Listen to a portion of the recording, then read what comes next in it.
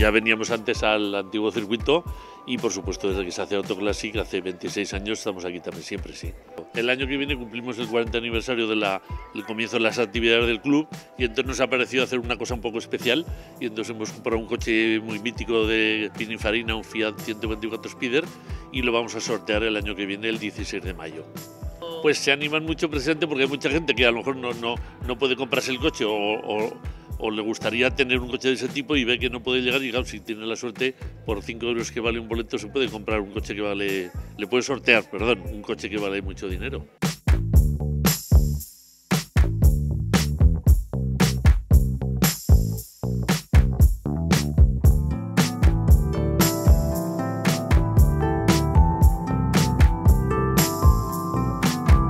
Pues aquí he traído una composición de 13 obras en la que quiero reflejar un poquito el, recorrido de una manera más nostálgica, recuerdo a las carreras del circuito urbano y que el visitante pues, pueda, pueda observar el recorrido de una manera más artística, de un punto diferente de vista.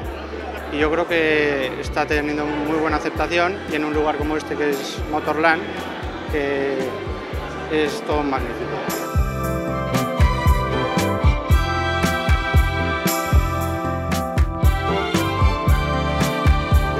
Chatarra, ya ves, chatarreo, cosas usadas, recambios, revistas, libros, bicis.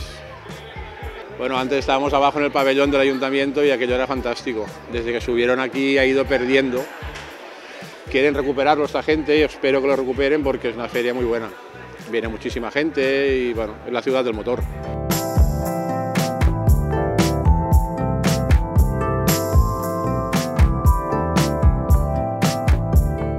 Venimos de Monzón, es la primera vez que venimos y traemos sobre todo coches de Scalestric y juguete antiguo, alguna chapa de motor, latas de aceite, eso, todo relacionado con el motor.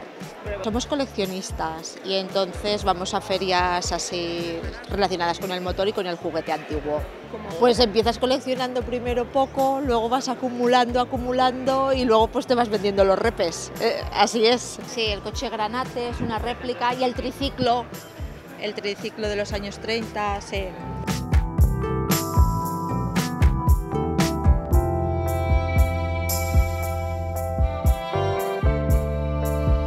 Pues traigo un poco de recambio de moto nacional y algunas piezas eh, vintage y bueno, de todo un poco, de decoración y recambio.